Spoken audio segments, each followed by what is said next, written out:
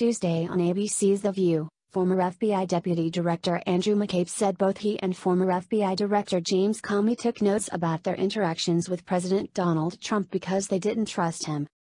While discussing McCabe being fired from the FBI, co host Meghan McCain asked, Why did James Comey deny your claims about your leaks to the press?